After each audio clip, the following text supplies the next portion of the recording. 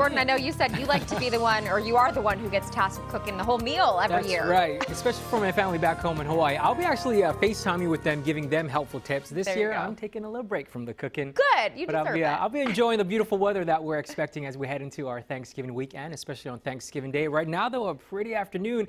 Plenty of sunshine, just a few high clouds streaming over us. You can see through our YOLO cam here, downtown Sacramento off in the distance.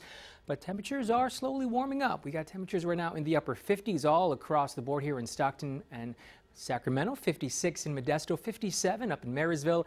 And as far as our dew point, humidity and our wind speeds this afternoon clocking in at 44% humidity, 37 for our dew point.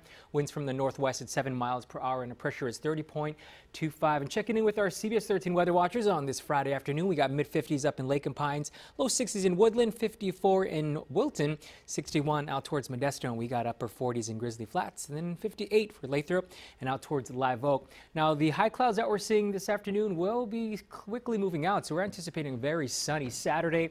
As we take a look at our screen right there, and our wind speeds, they're going to remain from the north for most of the valley uh, today and through tomorrow as well. Winds will be anywhere from 10 to 15 miles per hour, but calm and lighter winds, though, is expected for the foothills and up in the Sierra. You can see not a whole lot happening out towards Truckee, about 3 mile per hour winds out towards the greater Lake Tahoe area. So as we head into our forecast for the weekend, it's going to be really nice. So we did see, let's see, wind, rain, snow, even tornadoes this week, but today and through the weekend, it's going to be really, really nice. We got a nice system, though, that's going to be getting closer to us by Sunday into Monday.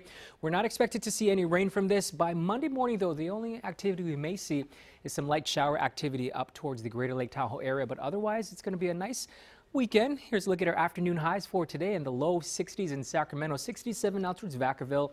Again, a northwest wind anywhere from 10 to 15 miles per hour and occasional gusts possible up to 20 here in the valley. We'll see lighter winds across the Bay Area with temperatures warming into the mid 60s, upper 60s for Fairfield and these temperatures will likely remain with us as we head into the weekend as well. Foothills, plenty of afternoon sunshine, 58 for Auburn, 59 for Jackson and Sonora, then mid 50s for Pollock Pines. Winds trending mainly from the east at about 10 miles per hour, and then up in the Sierra, sunshine this afternoon, mid to upper 50s or mid 50s low 50s, excuse me. We'll see 55 out in Quincy, light south wind at about 5 miles per hour.